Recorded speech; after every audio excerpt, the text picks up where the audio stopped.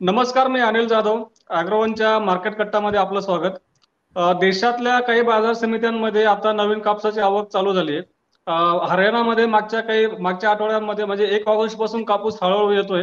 आता कुठं तिथं एक आवकेचं एक प्रमाण वाढतंय.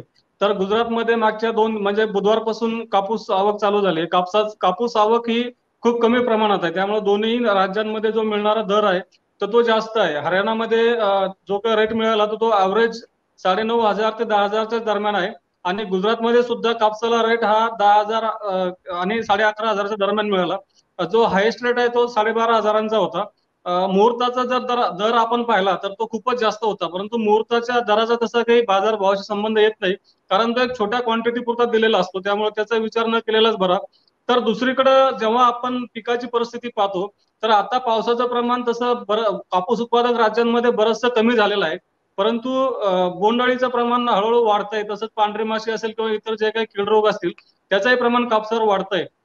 जर शुक्रवार पर्यंतच्या आकडेवारीचा विचार केला तर देश देशभरात जवळपास साडेसहा टक्क्यांनी यंदा कापूस लागवड वाढलेली आहे. म्हणजे गेल्या वर्षीच्या तुलनेत यंदा कापूस लागवड वाढलेली आहे.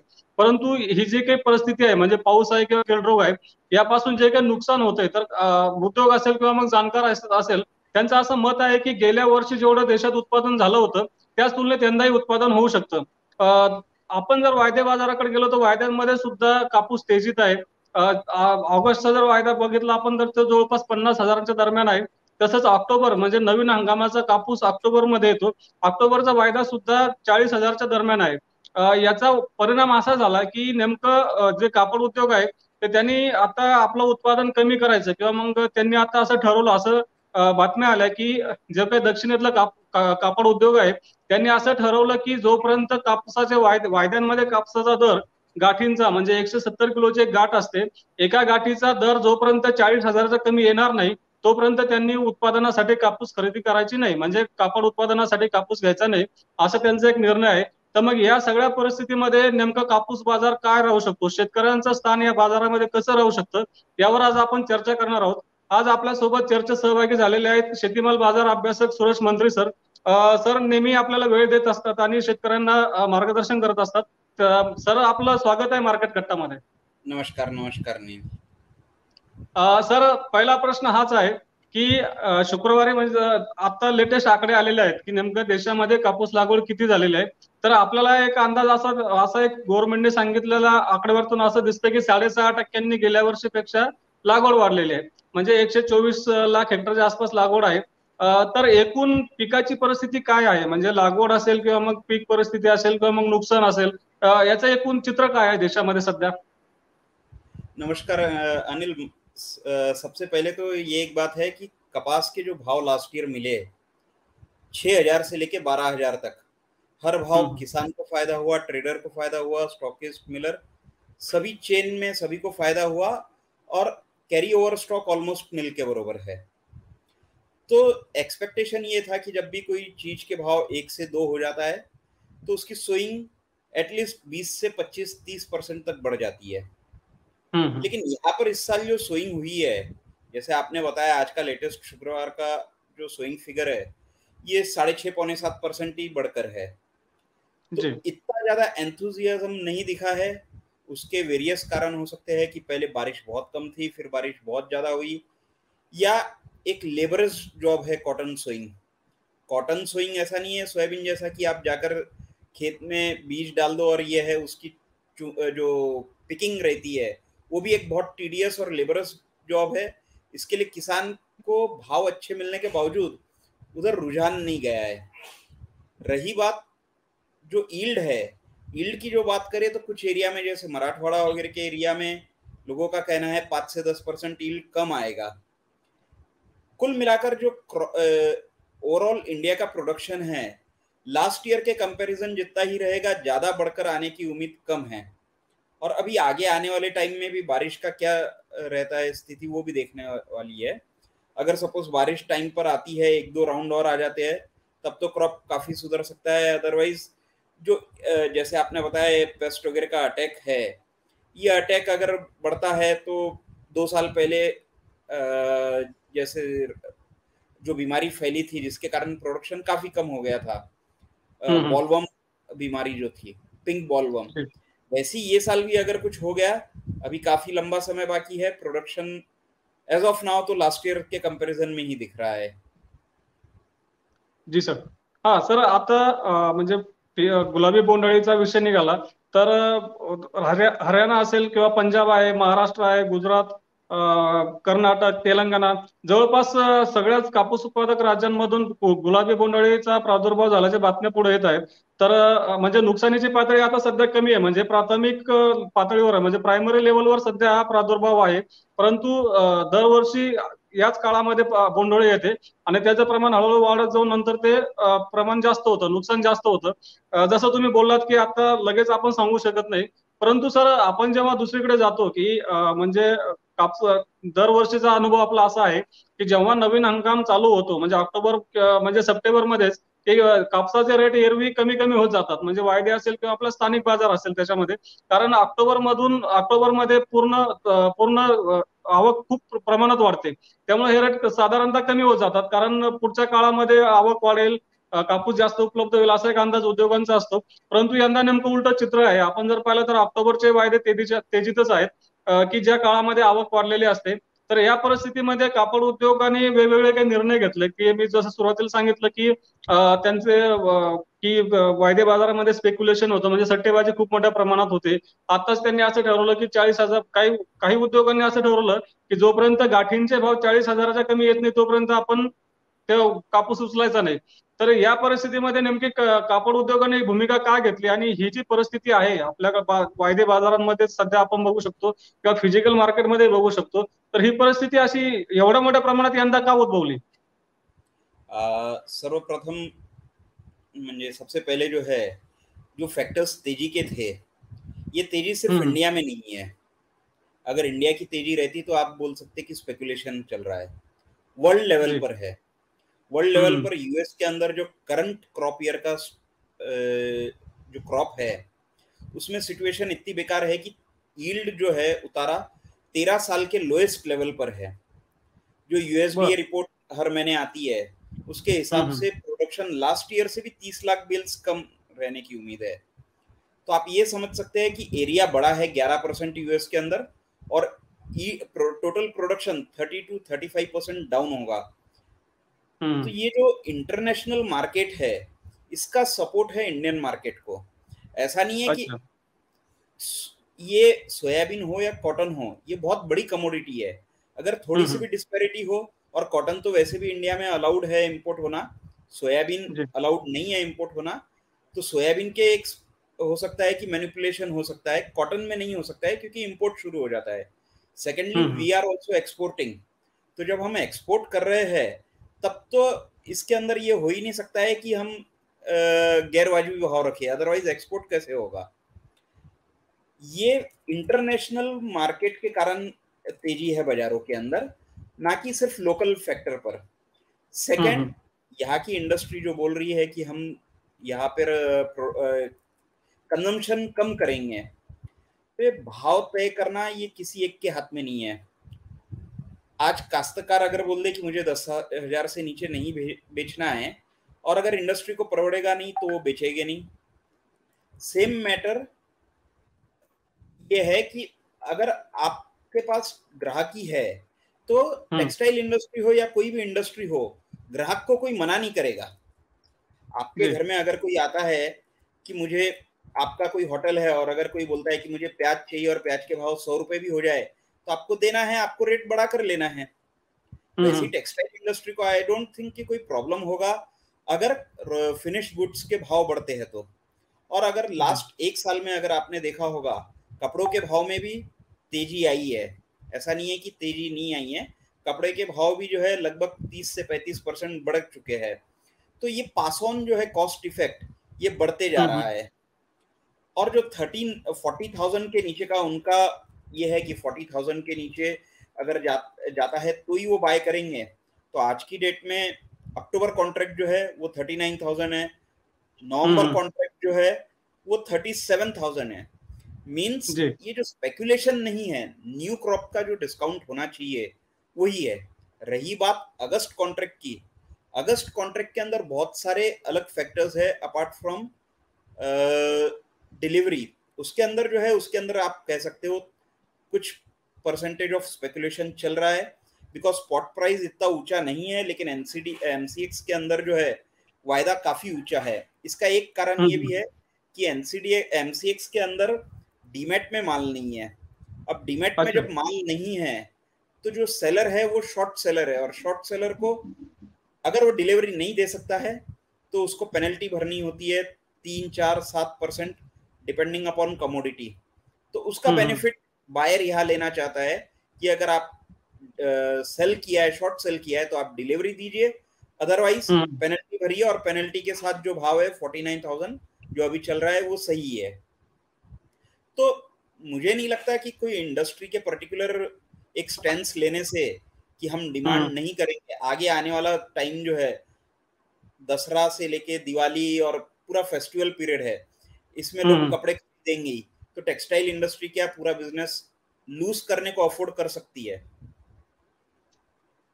जी। रादर ये क्वेश्चन है कि इंडस्ट्री अपना बिझनेस लूज करना चाहेगी क्या?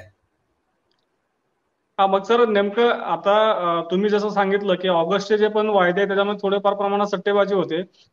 परंतु कापड उद्योग म्हणजे उद्योगांच्या जेव्हा जेव्हा मागण्या येतात तर ते अवास्तव सुद्धा असतात बऱ्याच प्रमाणात. ते आताही होतंय. अ, सर तुम्ही आता ओझरत अमेरिकेच्या कापसाबाबत सांगितलेलं आहे. तर म्हणजे आम्हाला जेव्हा आपण अमेरिकेच्या कापसाबद्दल बोलतो तेव्हा शेतकऱ्यांचा प्रश्न असा येतो की म्हणजे आम्हाला अमेरिकेतल्या कापसाहून काय घेणं देणं म्हणजे अमेरिकेमध्ये कापूस वाढला काय किंवा कमी झाला काय? तिथलं उत्पादन घटलं काय किंवा हे झालं काय? अशी चर्चा साधारणतः चालू असते. परंतु आपल्याला माहिती आहे की म्हणजे सगळ्यांना माहिती आहे बाजारामध्ये त्यानुसारच चालतं की अमेरिकेतल्या कापसाचं नेमकं काय आहे. तर सर इथं दोन प्रश्न असे आहेत माझे की पहिला म्हणजे अमेरिकेतल्या कापसाचा हंगाम हा कसा कधी चालू होतो? म्हणजे आपण जेव्हा आपला ऑक्टोबरपासून स्टार्ट होतो तसा अमेरिकेचा हंगाम कधीपासून चालू होतो? आणि दुसरं म्हणजे त्या कापसाच्या दराचा आपल्या कापसावर थेट परिणाम कसा होतो? अमेरिकेचे जे ग्राहक देश आहेत आपल्याकडून जसं की बांगलादेश मोठ्या प्रमाणात कापूस आयात करतो बांगलादेश आपला मोठा मोठा ग्राहक आहे. तसं अमेरिकेचे ग्राहक कुठले आहेत? फ़र्स्ट क्वेश्चन है कि इंटरनेशनल भाव का हमारे इस पर क्या इम्पैक्ट होगा? हाँ हाँ। कॉटन जो है कॉटन कमोडिटी बहुत बड़ी है। ऐसी नहीं है कि बहुत जैसे मैंने बताया कि जैसे ग्वार है या कोई स्पाइसेस है कि इंडिया मेजर प्रोडक्शन करता है वैसा नहीं हम्म। है। यहाँ पर जो है यहाँ पर इंडिया का प्रोडक्शन वर्ल्ड में नंबर वन पर है almost with a production of 22 percent लेकिन जब। इंटरनेशनल की बात करें इंटरनेशनल के अंदर आप समझिए कि 78 परसेंट इंटरनेशनल ट्रेड है। तो जब इंटरनेशनल भाव बढ़ेंगे तो डेफिनेटली हमको एक्सपोर्ट में अच्छा भाव मिलेगा किसानों को अच्छा फ़ायदा होगा। सेकंड अगर भाव घटते हैं तो हम्म, उसका इम्पैक्ट ये होगा कि हमारे यहाँ से एक्सपोर्ट नहीं होगा किसानों को भाव नहीं मिलेगा। तो ये एक सबसे बड़ा को रिलेशन है इंटरनेशनल और नेशनल मार्केट्स के बीच में। जी। सेकंड क्वेश्चन था आपका सेकंड किस रिलेशन में था? सर त्यांचा हंगाम कधी चालू होतो? म्हणजे आपला जसं ऑक्टोबर पासून चालू होतो तसं अमेरिकेचा हंगाम कधीपासून स्टार्ट होतो आणि कधीपर्यंत चालतो एक मंथ पहले हो जाता है। तो सितंबर के आसपास उनका अराइवल स्टार्ट हो जाता है और वहाँ पर भी जो है उनका जो एक्सपोर्ट है एक्सपोर्ट टर्की वगैरह ये साइड जाता जाता है अच्छा हाँ लेकिन इस बार जो है मैं आपको बता दूँ जस्ट वन मिनट उनके पास जो एक्सपोर्ट के लिए स्टॉक है वो काफ़ी कम हम्म। है लास्ट ईयर से क्योंकि प्रोडक्शन ही नहीं है तो जब प्रोडक्शन अच्छा। नहीं है तो उनका एक्सपोर्ट कम होना है एक्सपोर्ट कम होगा तो वो अल्टीमेटली इंडिया आएगा क्योंकि हम्म। इंडिया सबसे बड़ा सप्लायर है आज की डेट में जो बेल्स में है वहाँ का एक्सपोर्ट 146 लाख बेल्स था लास्ट ईयर इस बार वो हम्म। एक्सपेक्टेड है 12 लाख एक सौ बीस lakh bales means 25 lakh bales कम। और अगर ये बेल्स जो है ये तो हो गए यूएस मार्केट के बेल्स के हिसाब से। इन हम्म। जो कि 218 केजी का है। इंडिया के हिसाब से अगर आप कैलकुलेट करो तो एक्स जो उनका एक्सपोर्ट है एक्सपोर्ट कम होगा लगभग पैंतीस से चालीस लाख बेल्स तो जब हम्म। इतना बड़ा एक्सपोर्ट कम होगा उसकी डिमांड कहीं और शिफ्ट होगी। और सप्लायर कौन है आज की डेट में? इंडिया बिलकुल। हा सर हे आता अमेरिका आणि भारताचं झालं तर आंतरराष्ट्रीय पातळीवरती भारत आणि अमेरिकेनंतर कुठले देश आहेत की ते कापसाचा जास्त पुरवठा करू शकतात? एक्सपोर्टसाठी हा म्हणजे आंतरराष्ट्रीय बाजारामध्ये पुरवठा कोणते देश करू शकतात? आता आपण आपण असं सांगितलं की अमेरिकेची जी मागणी आहे आता म्हणजे हा म्हणजे यंदाचा जो हंगाम आहे तो एकशे ऐंशी ते नव्वद लाख गाठींच्या आसपास आहे उत्पादनाचा अमेरिकेचा. आणि त्यांचं उत्पादन गेल्या वर्षीपेक्षा जवळपास पन्नास लाख गाठीने जर कमी होणार असेल तर मग ही सगळी मागणी भारताकडे येईल की आणखी कुठला देश ऑस्ट्रेलिया आहे ब्राझील आहे. ऑस्ट्रेलिया सुद्धा म्हणजे आपल्यासोबत असतो. हंगाम असते ऑस्ट्रेलियात. ते आपल्यासोबत असतो. प्रश्न असा आहे की आंतरराष्ट्रीय बाजाराची आता आपण स्थिती समजून घेतली की नेमकं इकडे काय परिस्थिती आहे. तर आपण आता देशाकडे देशात येऊयात की आता आपण सुरुवातीला जसं सांगितलं की आता बोंडअळीमुळे नुकसान होतंय. जरी पेरा वाढला तरी मागच्या वर्षीच्या पर्यंत उत्पादन येऊ शकतं. तर सर या परिस्थितीमध्ये शेतकरी जे आहेत की सुरुवातीपासून आता आपण एक अंदाज देत आलेलो आहे की तुम्ही पण मागच्या वेळेस सांगितलं होतं की कापसाला काय रेट मिळू शकतो. तर जेव्हा कापूस शेतकऱ्यांच्या हातात येईल की आता हरियाणा पंजाब या भागामध्ये गुजरातमध्ये कापूस आलेला आहे महाराष्ट्रामध्ये सप्टेंबरच्या शेवटी शेवटी शेतकऱ्यांच्या हातामध्ये कापूस येईल तर या परिस्थितीमध्ये शेतकऱ्यांनी एक विक्रीचं नियोजन कसं करणं यंदा फायदेशीर ठरू शकतं? सबसे पहले किसान के पास ऑप्शंस क्या है वो सोचते हैं। जो किसान है किसान के पास सोयाबीन और कॉटन मैक्सिमम ये क्रॉप है खरीफ के अंदर। जो कॉटन हम्म। एरिया है उनकी बात करते हैं। तो सोयाबीन के भाव आज की डेट में कुछ प्लांट चौवन सौ पचपन सौ भी सुन रहा हूँ मैं नॉर्थ साइड हम्म। के। तो अगर ये चौवन पचपन सौ हो गया तो आप समझिए कि मंडी पाँच हज़ार इक्यावन सौ का रहेगा। जी। और ये तो आज के भाव है। जब क्रॉप आता है तब हम्म। क्या सिचुएशन होती है पता नहीं। अगर ये मंडी भाव पैतालीस छियालीस सौ हो जाता है सोयाबीन का तो डेफिनेटली किसान के मन में ये रहेगा कि पैतालीस छियालीस सौ का सोयाबीन रोक कर मैं कपास बेचू। तो स्टार्टिंग के टाइम में हो सकता है एक प्रेशर बने कपास का क्योंकि कपास का जो अभी भाव लगता है आज जैसे आपने बताया कि 9500 9700 या 10000 बिका है तो ये तो बहुत कम क्वांटिटी आई है। ये भाव टिकने नहीं है।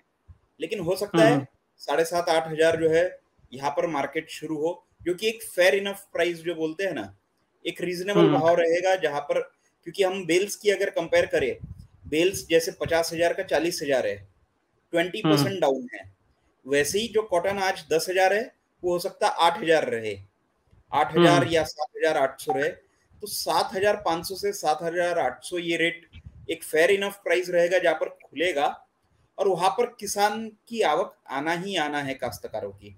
क्योंकि ये हम्म, भाव हम्म। के अंदर किसान के पास अगर कोई ऑप्शन देखते हैं तो सोयाबीन है सोयाबीन हर कोई होल्ड करने की सोचेगा और कपास लाएगा। वहाँ पर सेलिंग आएगी और वो हो सकता है ट्वेंटी थर्टी परसेंट सेलिंग जो है स्टार्टिंग के एक दो महीने में अपने को दिखने मिले और बाकी जो माल है बाद में रुकेगा। तो स्टार्टिंग सीज़न का सात हज़ार पाँच सौ सात हज़ार आठ सौ के आसपास रहना चाहिए। धीरे धीरे अगर आगे हमारे एक्सपोर्ट जिस हिसाब से है कंटिन्यू रहा और डिमांड जो है जैसे आपने बोला कि टेक्सटाइल इंडस्ट्री प्रोडक्शन कम कर रही है ये वर्ल्ड लेवल पर कितना इम्पैक्ट होता है? आज ठीक है आज एक महीना दो महीना हम समझ सकते हैं कि एक्सपोर्ट के अंदर डिमांड लोकल डिमांड जो है वो इम्पैक्ट नहीं करे। बाद में जो है बाद में हो सकता है कि डिमांड थोड़ी कम ज़्यादा हो और उसके ऊपर मार्केट मूव करेगा। लेकिन सात हजार पाँच सौ इसका रेट अभी हाल फिलहाल चार से पांच महीने नहीं घटना चाहिए ऐसा लगता है। ओके लेकिन परंतु सर जेव्हा आंतरराष्ट्रीय बाजारामध्ये सर्वात मोठा निर्यातदार जर आपण बघितलं समजा की भारताच्या बरोबरीचा तो अमेरिका आहे आणि अमेरिकेमध्ये जर उत्पादन एवढ्या मोठ्या प्रमाणात कमी होणार असेल आणि ते अमेरिकेची मागणी भारताकडे येणार असेल तर याचा दराला काहीतरी आपल्या इकडं एक आधार मिळेल का मजबूत? नहीं इसी के लिए भाव जो है साढ़े सात हज़ार से आठ हज़ार के बीच एक्सपेक्ट कर रहे हैं हम लोग क्योंकि ऐसा है अमेरिका मार्केट का जो न्यूज़ है ये समझिए दस हम्म। अगस्त के आसपास यूएसडी रिपोर्ट आती है ये डिस्काउंटेड हम्म। हो चुका है ऑलरेडी प्राइस के अंदर जो इंटरनेशनल प्लेयर्स है उनको पता है कि वहाँ की क्रॉप कैसी है और ये प्राइस के हम्म। अंदर ऑलरेडी फैक्टर इन हो चुका है कि वहाँ का क्रॉप कम रहेगा सेकंड आता है डिमांड अच्छा। डिमांड तो अब ओवर अ पीरियड पिछले छह महीने तो हमने देख लिया। पचास हज़ार के आसपास बेल्स इंडिया के अंदर रही है और उस पर कोई इम्पैक्ट नहीं हुआ है। आने वाले छह महीने में क्या ये डिमांड कंटिन्यू रहेगी क्या? बिकॉज़ हर किसी का साइकिल होता है। जैसे टेक्सटाइल मिल्स अक्टूबर नवंबर के अंदर दिसंबर तक स्टोर करते हैं। तो क्या वो लास्ट हम्म। ईयर जितना स्टोर कर पाएगी ये साल कॉटन ये भाव के ऊपर। क्या एक्सपोर्ट यही पेस में रहेगा? एक्सपोर्ट ठीक है हो जाए। लेकिन जो एक कैपिटल लगता है हम्म। हमारे भांडवल जो लगता है भांडवल की भी रिक्वायरमेंट बहुत ज़्यादा रहेगी जो लास्ट ईयर जिनर के पास पाँच साढ़े पाँच हज़ार के अंदर कैपेसिटी थी साढ़े सात हज़ार में डेफिनेटली उसकी भी कैपेसिटी कम होगी हम्म। आणि सर निर्यातीचं काय चित्र राहू शकते यंदा देशातून आपण मागच्या म्हणजे सरत्या हंगामामध्ये असं पाहिलं की देशातून जेव्हा आंतरराष्ट्रीय बाजारामध्ये रेट चांगले होते, म्हणजे एकशे वीस सेंटच्या आसपास रेट गेले होते, तेव्हापासून आपल्या इथून कापसाची असेल किंवा मग टेक्सटाईलची सुद्धा निर्यात वाढलेली होती. तर यंदा काय चित्र राहण्याचा एक अंदाज काय असू शकतो? ओवरऑल एक्सपोर्ट इंडिया का जो है, ये सेम ही रहेगा. ज़्यादा कोई गड़बड़ नहीं होगी, बल्कि इंपोर्ट जो है, वो कम हो जाएगा. बिकॉज़ हम इंपोर्ट भी करते हैं. सिर्फ़ ऐसा नहीं है कि हम एक्सपोर्ट करते हैं, हम इंपोर्ट भी करते हैं तो ऐसा एक एक्सपेक्टेशन है कि इंपोर्ट जो है हम कम करें और रही बात एक्सपोर्ट की एक्सपोर्ट जो लास्ट ईयर हमने 47 47 50 लैक्स के आसपास किया है हम्म। उतना ही रहेगा इंपोर्ट अच्छा। हमने किया था लास्ट ईयर 21 लैख बिल्स इस बार 17 18 लाख बिल्स इंपोर्ट होने के चांसेस है सर, आपण मागच्या वर्षी असं पाहिलं की तेल मग सोयाबीन असेल जे काही आपलं फ़ीड होतं अॅनिमल फ़ीड त्याचे रेट जास्त होते. इडिबल ऑइल सुद्धा तेजीत होतं. फ़ायदा सर्कीला मिळाला होता कॉटन सीडला मिळाला होता. तर, आता सध्या कॉटन सीड मार्केटची परिस्थिती काय आहे? आणि त्याचा आधार यंदाच्या हंगामात सुद्धा मिळण्याची शक्यता आहे का?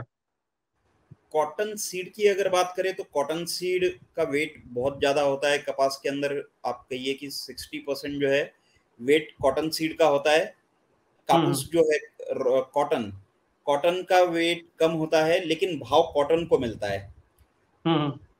तो ज़्यादा वेटेज कॉटन के भाव पर है हाँ सर की जो कॉटन सीड है कॉटन सीड के भाव क्योंकि बाकी ऑयल सीड प्रोडक्शन बहुत ज़्यादा है इस बार सोयाबीन अच्छा। का। ज़्यादा है प्रोडक्शन ज़्यादा नहीं है कैरी ओवर ज़्यादा है आपको याद हम्म। होगा लास्ट जो था लास्ट इसके अंदर अपने मीट के अंदर बात हुआ था कि कपा सोयाबीन का एक्सपोर्ट ही नहीं हो रहा है सोयाबीन डीओसी का और काश्तकार हम्म। ने सोयाबीन का माल होल्ड कर रखा है एक्सपेक्टेशन था दस हज़ार जाएगा भाव जो कि नहीं गया और थर्टी थर्टी फाइव परसेंट अगर कैरी फॉरवर्ड है और क्रॉप नॉर्मल है तो उसमें भाव बढ़ने के चांसेस कम हो जाते हैं हम्म। हालाँकि ये एक ऑल टुगेदर अलग है आप सोया डीओसी और कॉटन केक को मिक्स नहीं कर सकते हैं लेकिन हाँ हम्म। उसका इम्पैक्ट रहेगा स्टॉकिस्ट वगैरह डरेगा आने से कॉटन केक में आंतरराष्ट्रीय बाजारातले किंवा मग देशातल्या बाजारातले तर याचं एक काय राहू शकतं? कुठली पातळी आपण गृहित धरू शकतो येणारा म्हणजे हंगामामध्ये असं?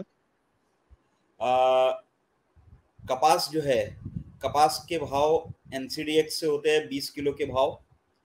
हम्म। ये कपास जो है ये सत्रह सो पचास बावन का रेट एज ऑफ़ नाउ चल रहा है. नीचे में ये सत्रह सो सत्रह सो बोले तो आप समझ लीजिए आठ हज़ार पाँच सौ का रेट हो गया. ऊपर में ये रेट जाएगा जा सकता है क्योंकि अप्रैल कॉन्ट्रैक्ट है तो ये वापस से 1850 से लेके 1920 तक दिखना चाहिए हम्म। रही बात कॉटन की अगस्त कॉन्ट्रैक्ट जो है अगस्त कॉन्ट्रैक्ट तो एक्सपायरी पर है उसमें बोल के कुछ फ़ायदा नहीं है अक्टूबर और नवंबर जो है नवंबर कॉन्ट्रैक्ट हम्म। आज की डेट में सैतीस हज़ार है डाउन साइड पैंतीस हज़ार पकड़कर आप ये समझिए कि वापस से forty two forty four thousand तक जा सकता है और अच्छा। कॉटन केक थर्ड प्रोडक्ट जो है कॉटन केक कॉटन केक के अंदर आज जो दिसंबर का भाव 2400 के आसपास चल रहा है ये नीचे में 2200 हम्म। जा सकता है ऊपर में 2700 जा सकता है। अच्छा। और सर सीबोट कैसा रह सकता है? सीबोट और Chinese ICE ICE sorry ICE ICE cotton का जो अभी भाव लगभग 117 चल रहा है इसका बहुत बड़ा ब्रेकआउट था 108 डॉलर का 108 सेंट का। हाँ। तो ये ऊपर में 142 तक जा सकता है। अच्छा। और सर चाइना का कंजम्पशन भी कॉटन का बहुत ज़्यादा है तो वहाँ का कुछ रेट का कुछ अंदाज़ा बता सकते हैं? नहीं चाइना मार्केट नहीं देखा है लेकिन चाइना के अंदर ड्रॉट भी बहुत हैवीली चल रहा है। वर्ल्ड वाइड जो है सिर्फ़ यूएस के अंदर ही प्रॉब्लम नहीं है। चाइना के अंदर भी बहुत ह्यूज ड्रॉट है वहाँ पर भी गवर्नमेंट एडवाइजरीज दे रही है सोइंग को लेकर और क्रॉप प्रोडक्शन को लेकर। तो वहाँ पर भी कंसर्न रहेगा। वहाँ पर स्टेट रिजोर्व भी काफ़ी गवर्नमेंट ही मैनिपुलेट करती है चाइना का मार्केट तो चाइना चाइनीज़ गवर्नमेंट ही है जो वहाँ पर मैनिपुलेट कर सकती है। अदरवाइज़ चाइना क्रॉप जो है वो भी इस बार कम रहेगा। जी।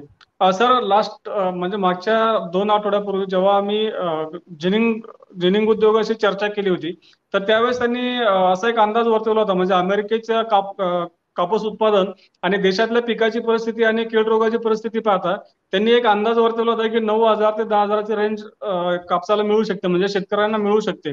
तर हा जो काही रेटची पातळी त्यांनी सांगितली होती तर याच्याशी आपण सहमत आहात का?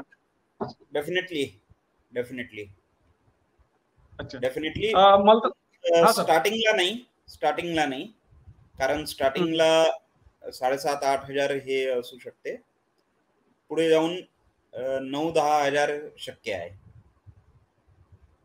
अच्छा म्हणजे अरायवल जशी जशी कमी होईल सुरुवातीचे एक दोन महिने गेल्यानंतर. अरायवल आणि डिमांड जे मी सांगितलं की अगर डिमांड बनी रही तो डेफिनेटली इसके भाव दस हज़ार टच करने को कोई रोकथाम नहीं है. अच्छा. मला तर वाटतं आपण सगळे मुद्दे आता चर्चेला घेतलेले आहेत. सर थांबायचं का आपण? हो. ओके. मी थोडा एक मिनिट फक्त कन्क्लुजन करतो. मग थांबूयात. मंत्री सरांनी आता आपल्याला फक्त भारतातलंच नाही आपल्या देशातल्याच उत्पादनाबद्दल नाही तर अमेरिका असेल किंवा देशातली जी कुठली कापूस उत्पादक देश आहेत जगातली तर त्या तिथं पिकाची परिस्थिती काय आहे? तिथल्या बाजारांमध्ये सध्याचा रेट काय आहे? भविष्यामध्ये काय राहू शकतो?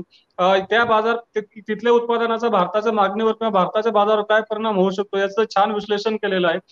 सरांनी आपल्याला म्हणजे शेतकऱ्यांना एक दर पातळी सांगितली की सुरुवातीला एक आठ हजार साडेआठ हजार रुपये रेट राहू शकतो. आणि जसं एक अवकेचा दबाव कमी झाला की म्हणजे ऑक्टोबरमध्ये आपण बघितलं म्हणजे मागच्या आपण पंधरा वीस वर्षाचा जरी डेटा बघितला जर आकडेवारी पाहिली तर आपल्या असं लक्षात येतं की ऑक्टोबर आणि नोव्हेंबर या दोन महिन्यांमध्ये कापसाचे रेट हे दबावत असतात. त्यानंतर हळूहळू रेट जसं जसं आवक कमी होत जाते तसं रेट वाढत चालतो.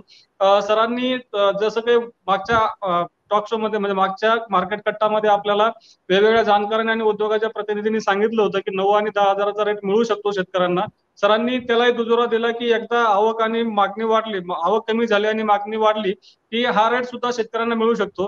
त्यांनी एक रिलेशन सुद्धा सांगितलं की शेतकऱ्यांना जसं कापूस आणि सोयाबीन उत्पादकांचं सरांनी उदाहरण दिलं शेतकरी अशी एक विक्रीचं नियोजन करू शकतात की कापसाला रेट चांगला असेल सोयाबीन मागे ठेवायचं आणि सोयाबीनला रेट चांगला असेल तर कापूसही आपण मागे ठेवू शकतो. सरांनी आपल्याला वेळ दिला त्याबद्दल मी सरांचे आभार व्यक्त करतो. आज इथेच थांबूया. धन्यवाद सर.